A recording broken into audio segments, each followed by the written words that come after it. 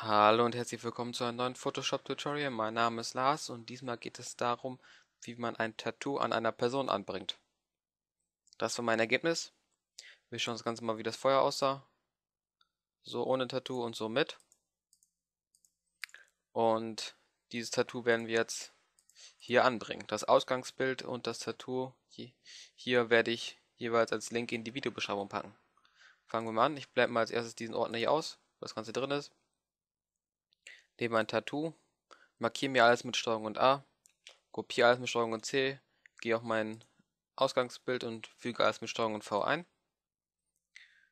Als erstes, wenn ich dies habe, wird das Tattoo hier auf eine neue Ebene kopiert, gehe dann hier in den Ebenenmodus und stelle das Ganze hier auf Multiplizieren. Dann ist das Ganze schon mal durchsichtig, der Hintergrund ist weg und die Farben passen schon mal für die Haut. Als nächstes müssen wir natürlich die Ebene hier wieder auswählen, können das Ganze hier verschieben, drücken dann STRG und T. Das Ganze zu frei zu transformieren und mit, mit gedrückter Shift-Taste verkleinern wir das erstmal und schieben das auf unsere Position. Jetzt können wir das Ganze noch drehen und anpassen. Ungefähr muss man dann die richtige Position raussuchen, die man haben möchte. Machen wir es mal so. Danach klicken wir mit der rechten Maustaste hier drauf und gehen auf Verkrümmen. Jetzt bekommen wir dieses Gitter und dieses Gitter müssen wir jetzt um das Bein legen. Sozusagen, dass das Gitter um das Bein rum zugelegt wird, dass es etwas realistischer aussieht. Dann verschieben wir das so, dass das Gitter um das Bein gelegt wird.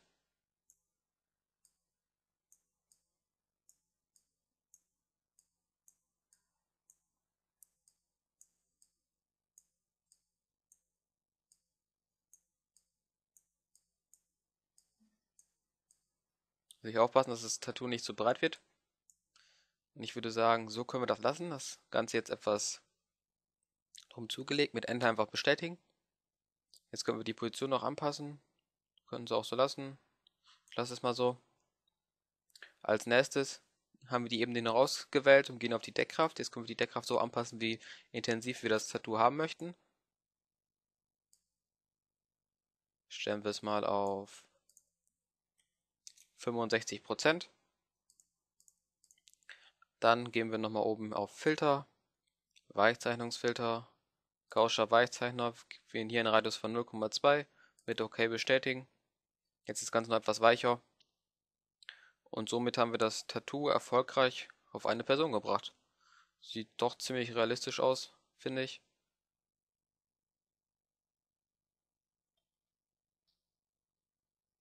Und das soll es dann auch schon wieder gewesen sein. Ich danke fürs Zuschauen und auf Wiedersehen.